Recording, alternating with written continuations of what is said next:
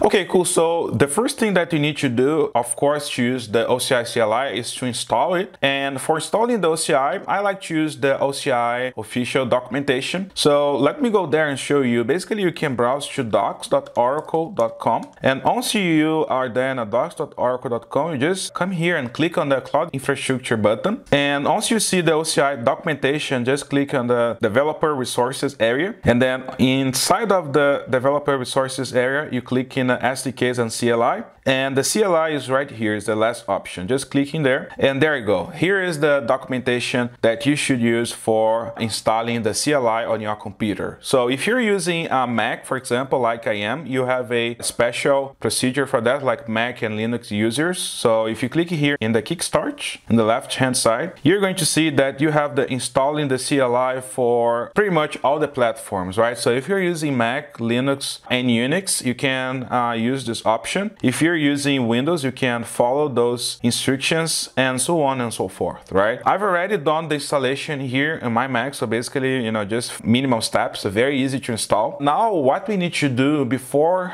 being able to use the CLI, we need to configure it. And during the configuration, you're going to configure the CLI to authenticate with OCI as well. So for doing that, we are going to use the token-based authentication. Now you can just click here on the third option, token-based authentication application. And you're going to see the options or the steps that you need to follow to configure the OCI CLI and to, of course, configure your username and password so that the OCI CLI can allow you to access the OCI resources in your tenancy, of course. So basically here, as you can see, you know, it's very easy to authenticate using the token-based CLI session methodology. Just two steps. The first step you need to do is just go ahead and run the OCI session authenticate in your terminal. So that's what I'm going to do right now. So I'm just going to run OCI session authenticate because I already have the OCI CLI installed in here on my Mac. So once I hit enter, it is basically going to ask me what is my home region, right? My home region is uh, US Phoenix 1 and I just gave it and as you can see it is going to open immediately the browser so that you can provide your username and a password to authenticate yourself and make sure that the OCI CLI have all the token information required to allow you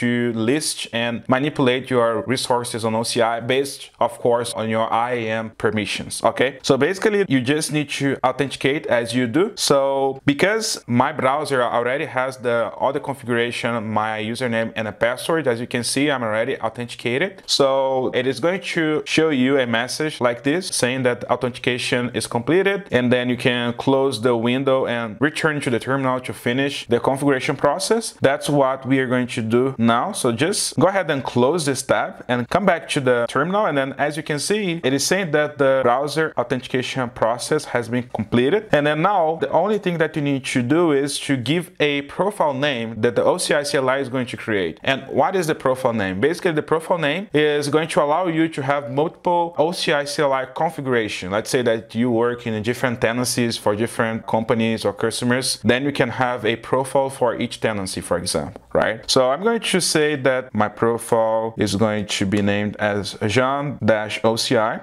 And as you can see, immediately it says that everything has been configured here. And as you can see, the configuration file is located right here and also you can see that it is already giving you a example as to how you can run the OCI CLI to make sure that everything is working fine so that's exactly what you're going to do now so basically you can go ahead and copy this command in here and before running it let me quickly explain you what this command is doing actually so basically the OCI is the executable of the OCI CLI and then uh, next you have which type of service you want to uh, handle using using the OCI, and in that case is the IAM. And then we're basically saying list the regions, you know, that are available for you in the IAM in OCI. And then next, I'm going to give the config file, which is going to have the authentication and authorization information, right? The token that was created, the name of the profile that was created. Remember that I gave here Jean-OCI. And then finally, it is going to provide the authentication uh, method because, you know, we have different authentication methods for the CLI. At this example, we are using the token-based authentication method, okay? And then once you have it, just hit enter to see if everything is working fine. Okay, so as you can see, the response came back. We can see all the regions in here. So it means that the communication between the CLI and the OCI API is working fine. So now what we are going to do is I would like to demonstrate to you the use case that I just mentioned, right? If you think about a use case where you need to automate the instance shutdown and start up using the CLI for the use case that I just gave you a few minutes ago, right? Let's say that a developer or a development team has a lot of instances and they don't need to use the instances after 6 p.m. o'clock and then they just need to have those instances shut down for you know cost saving reasons right? And then before the next business day comes up they need to have those instances up and running as well so that they can continue with their development activities. Uh, what's happening here we are basically shutting down the instances to save money right? To cost you less money in the OCI right? And how you could do it right? So how you can automate these things using the CLI so it is actually pretty simple. We can use the CLI to shut down the instance and to bring it up as well. So basically, if you want to use the OCI to manipulate any compute resource, you need to, of course, give the OCI command, and then you should use the compute for the, you know, the type of resources. And then next, you can, of course, mention instance because you're going to shut down a instance, a VM instance, right? And now, if you'd like to see what you can do in terms of instances, right? Which kind of operations you can do inside of instance. You can basically type the dash H. The dash H will actually give you the manual for the tool, right? So you can basically get some help and understand better the syntax and the options that you need to provide in order to execute some operation that you'd like to do, right? So here's the manual. Usually no one will memorize all the commands, so you know that doesn't make any sense. So there are a lot, you know, thousands of commands and options available. Usually you need to look at the documentation. And this is a very quick way to do it. So basically, as you can see, here you can see the available commands for the compute instance option. And we're going to focus on action. So as you can see, the action is one of the available commands. And if you want to see what the action does, you just scroll down and you see that action has a description, right? And under the